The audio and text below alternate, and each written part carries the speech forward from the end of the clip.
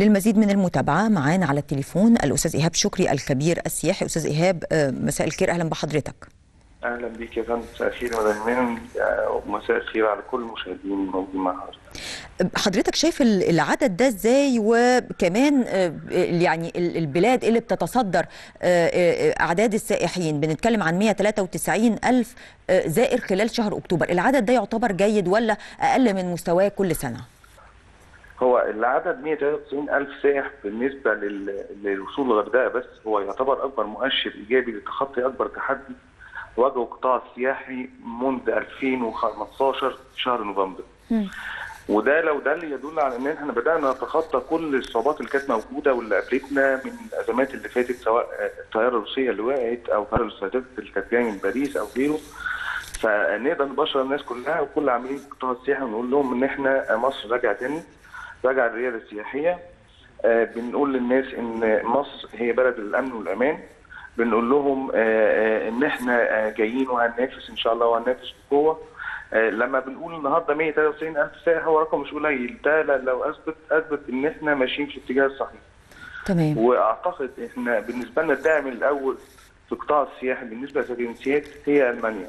طبعا. يعني تقريبا 90 ألف سائح من 193 ألف دولت هو جنسية المانيا من جنسيه المانيه وعلشان مصر تجيب العدد ده يبقى إحنا بنقول آه، آه، إن الناس الألمان دي ناس فاهمة كويس قوي وعارفة آه، الوضع ال- الحالي اللي موجود في مصر والاستقرار وفاهمة إن زبونها آمن.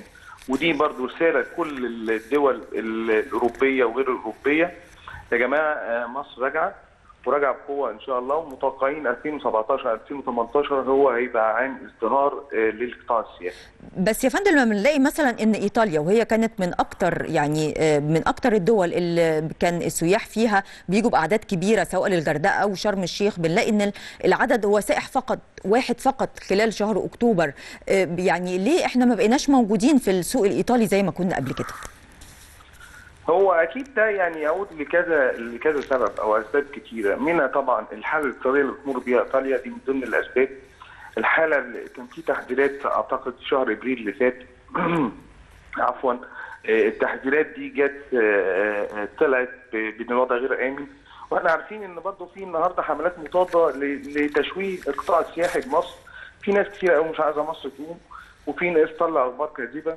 بس إحنا برضه يعني إن شاء الله شغالين وبنواجه كل التحديات الموجوده دي. وبنقول إن إحنا كون إن إحنا نوصل للرقم ده آه، بدون إيطاليا وبدون إنجلترا في شرم الشيخ وبدون روسيا في الغردقة وفي شرم الشيخ ودي أعداد لا يستهان بها آه، هو إنجاز بالنسبة لنا كلنا. إحنا لا يبقى بالنسبة للقطاع السياحي دلوقتي غير بعض الجنسيات. هي الجنسية الروسية والجنسية الإنجليزية هي شغالة في الغردقة أو شغالة في البحر الأحمر ولكن للأسف لسه ما اشتغلتش في شرم الشيخ. وبنقول إن إحنا قدرنا نقف على رجلينا بدون الجنسيات دي ما تكون شغاله. آه، آه، إيطاليا إن شاء الله في استعداد ليها وفي برضه مؤتمرات جاية آه، الفترة اللي جاية دي هنحضرها. وفي هيبقى ترتيبات بالنسبة للطيران العارض على البحر الأحمر وعلى شرم الشيخ وعلى مرسى علم.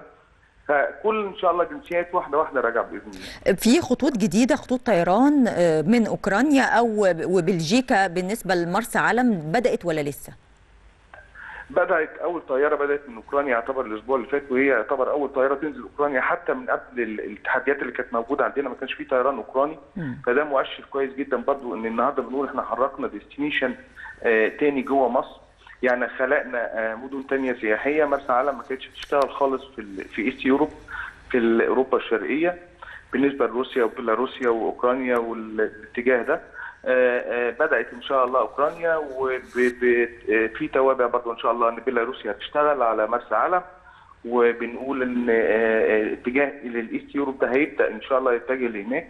وعايز أقول لك إن ال occupancy أو الإشغال بحجم الإشغال في مرسى علم وفي الجنوب من البحر الأحمر هو آه، يفوق 90% وده تمام. مؤشر بالنسبة لنا مؤشر إيجابي ومؤشر هايل جدا. وبنتوقع إن شاء الله إن موسم الشتاء برضو دي فترة موسم بالنسبة لأوروبا الشرقية.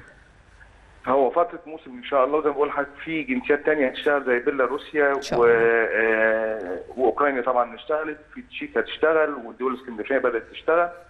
فإن شاء الله متوقعين سيزون يبقى كويس إن شاء الله 2017 شكرا. 2018 شكرا جزيلا لحضرتك أستاذ إيهاب. شكري الكبير السياحي والقائم بتسيير أعمال غرفة شركات سياحة البحر الأحمر.